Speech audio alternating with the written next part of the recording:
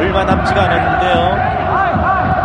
조원희가 아래쪽으로 물 돌렸습니다. 패스 플레이를 하면서 시간을 끌고 있죠. 조원희 선수요. 네.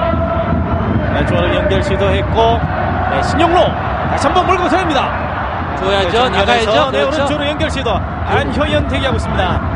안효연 다시 한번 크로스 시도 헤딩으로 수비 걸렸죠. 다시 한번 에두 아, 네. 에두입니다. 에두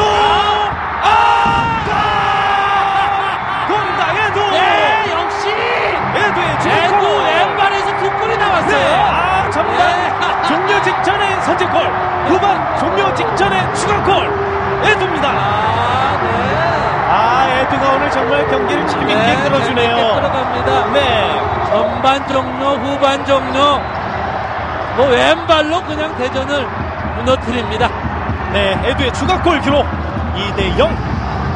아, 승리의 종지부를 찍는 에두입니다. 아. 대전의 원정 팬들 정말 오늘 아쉬운 경기인데요. 경기는 잘 풀어가는데 결국 이제 골을 허용하고 그렇습니다. 경기입니다. 바로 약간의 틀린 점이 저런 점입니다. 야, 안효원 네. 선수 잘 올라갔고요. 여기서 보세요. 에두 아,